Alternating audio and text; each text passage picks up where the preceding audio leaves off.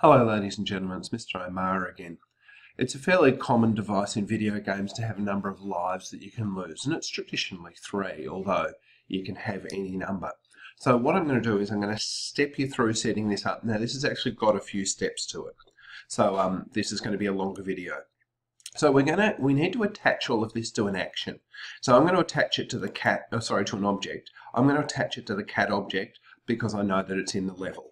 So like all things, this is object-oriented programming, so it has to be attached to an object.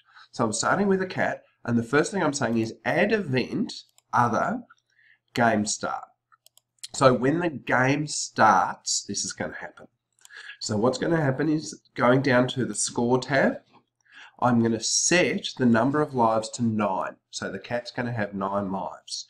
And I'm not going to set it relative. That's the actual number 9. So you start with 9.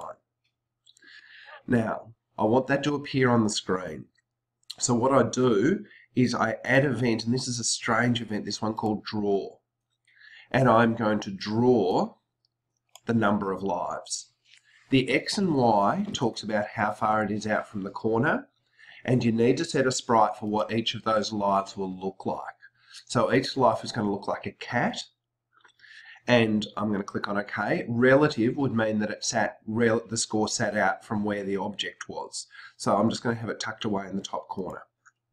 So when I run that, it's going to show me that I've got nine lives. So I'm going to run that and we'll have a quick look.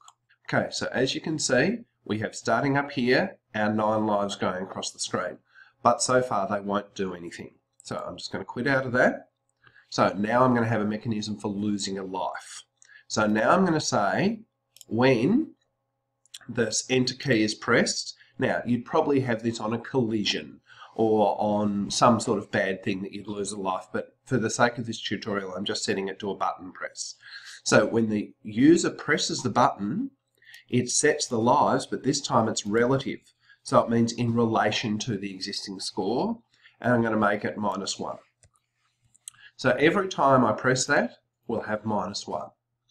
Now that doesn't really mean anything if nothing happens when I run out of lives. So I need to set another event in other, which is when there are no more lives, then I'm going to, I think it's down in main 2, I am going to close the game.